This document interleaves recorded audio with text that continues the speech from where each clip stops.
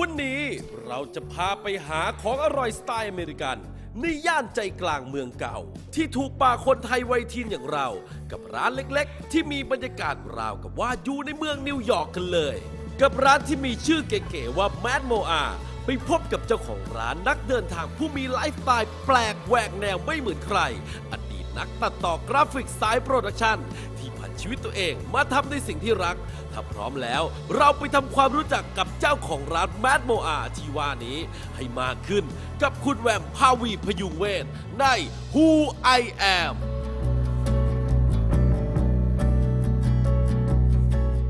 ครับสวัสดีครับ ชื่อแวมภาวีพยุงเวททำร้านอาหารชื่อ Mad Moa อยู่ครับ เราเรียนมัลติมีเดียที่ศิลปากรในคณะอินเตอร์ออกแบบทั่วไปครับหลาย ๆ อย่าง ตอนเรียนจบมาก็คือทำพวก ตัดต่อพวก production อย่างนี้ทำได้นิดนึงก็แบบก็ไม่ไม่ได้ชอบมากอะไรเงี้ยแต่ก็ก็เลยแบบเออถ้างั้นก็ลองดูอย่างอื่นอะไรเงี้ยงานที่สองก็คือตอนนั้นก็คือรับรับทำพวกเป็นฟรีแลนซ์ทำกราฟิกทำถ่ายวิดีโอแล้วก็ตัดต่อด้วยครับ ก็ทำแล้วก็โอเคทำไปเรื่อยๆแต่แบบผมเป็นคนที่แบบถ้าเกิดว่าอยากทำอะไรต้องทำให้มันอยากทำให้มันดีอะแต่ส่วนมากทำก็คือแบบทำแบบทำไปเรื่อยๆเพราะว่าถ้าไม่ได้ชอบก็แบบ ไม่ได้ชอบจริง ๆ มันไม่มี passion อย่างเงี้ยก็อีกต่อมาคือทำงานที่ Topman ครับ Topshop ทำเป็น VM ก็คือจัดร้านเสื้อผ้าที่ชอบแต่งตัวชอบแฟชั่นอยู่แล้วก็เลยแบบก็ก็ทำดูลองดู ก็เหมือนเดิมก็ทำแค่ปีเดียวครับ แต่ว่าตอนที่ทำ Topman ก็คือว่าเริ่มทำร้านอาหารกับเพื่อน เป็นทำร้านแฮมเบอร์เกอร์ ชื่อเจอเกนส์เบอร์เกอร์ เป็นแฮมเบอร์เกอร์รูปหนวด หนวดทิปสเตอร์ แล้วก็คือทำนับเมื่อ 4 ปีที่แล้ว ซึ่งแบบสมัยนั้นตอนนั้นยังไม่มีร้านเบอร์เกอร์ในเมืองไทยอะไรเงี้ย ก็เริ่มทำที่มันเป็น community mall ที่แถวสาทรครับ ก็เปิดได้เกือบปี มันก็อยู่ได้โอเคนะดีได้เรื่อย เพราะว่าเหมือนเขาก็ลูกค้าตอนแรกคิดว่าจะขายออฟฟิศ แต่พอเราทำออฟฟิศจริงเรารู้ว่ามันแพงเกินไปกับออฟฟิศนะอะไรเงี้ยราคา ได้เฉพาะดีๆ ก็เป็นแบบพวกผู้ปกครองหรืออะไรเงี้ยฝรั่งแถวนั้นก็ฝรั่งเยอะอะไรเงี้ยกิน ทำไปเรื่อยๆก็รู้สึกว่าเออชอบ เพราะว่าผมเริ่มที่เลือกทำเบอร์เกอร์ เพราะว่า ผมชอบเดินทางชอบเที่ยวอะไรเงี้ยก่อนหน้านั้นก็คือไปแคนาดามาไปอเมริกา ก็คือมันเป็นเหมือนอาหารปกติของเขาเหมือนอาหารกะเพราของเราอะไรเงี้ยคืออาหารที่เขากินทั่วไปปกติทุกที่มีเยอะมีเยอะมาก แล้วมันก็แต่ละที่ก็มีเอกลักษณ์ไม่เหมือนกันอร่อยด้วย แล้วพอมาเมืองไทยมันไม่มีแฮมเบอร์เกอร์เลย มีแค่ก็แค่เจ้าใหญ่ๆที่เป็นแฟรนไชส์ครับ ร้านก็คือต้องต้องมาอยากกินเบอร์เกอร์คือต้องไปถ้าไม่โรงแรมเลยก็ต้องเป็นร้านพวก Irish bar ร้านบาร์ฝรั่งอะไรเงี้ย มันไม่มีเป็นร้านเบอร์เกอร์ผมก็เลยเอ้ยงั้นก็ทำเบอร์เกอร์ดิก็เลยลองก็ทำกับเพื่อน จนแบบก็ research ทำอะไรทุกอย่างจนแบบเออเฮดได้ละแต่ community mall ที่เปิดเขาก็มีปัญหาเรื่อง management ไม่ดี ก็ก็ปิดไป พอ community community mall นั้นปิดไปแล้วเราก็เลยแบบอะงั้นเราหาร้านหน้าร้านกัน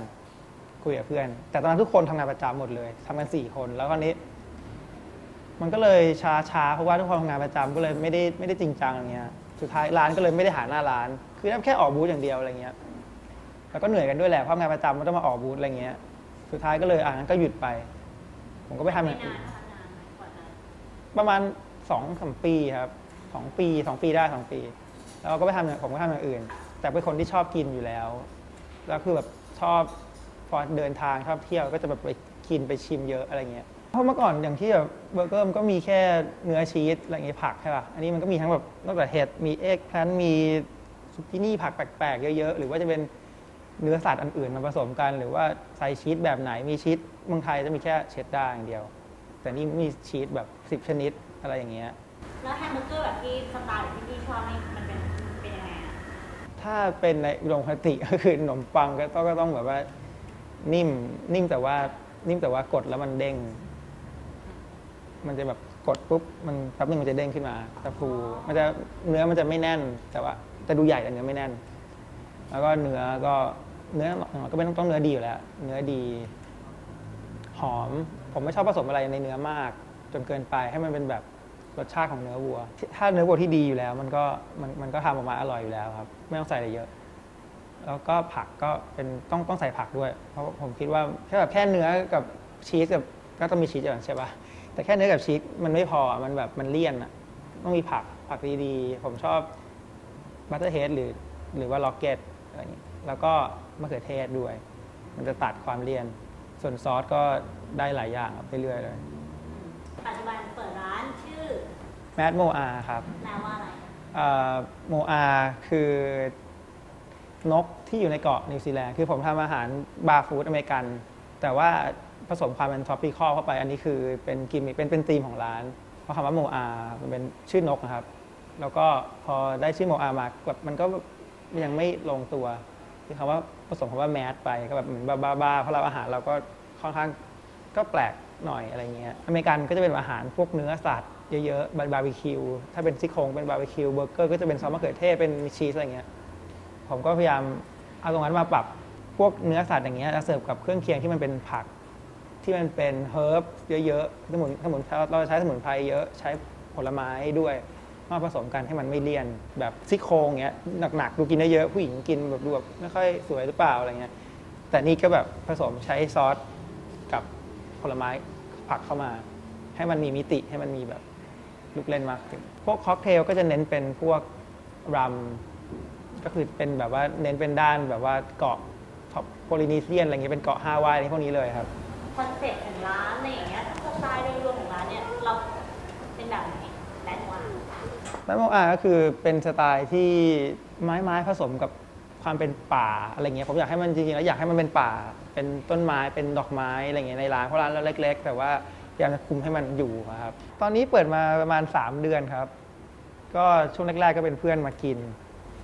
คนรู้จักมากิน แต่ก็โอเคก็ดียังดีแบบก็ปากต่อปากด้วย แล้วก็ลูกค้าวอล์กอินก็กลับมาตลอด ผมก็เลยก็มันเฮ้ยมันก็แสดงว่าเราก็มาถูกทางโอเคนะอะไรอย่างนี้ แล้วก็หลังๆก็พอลงได้ลงสื่ออะไรต่างๆ มันก็คนก็มากินเยอะขึ้น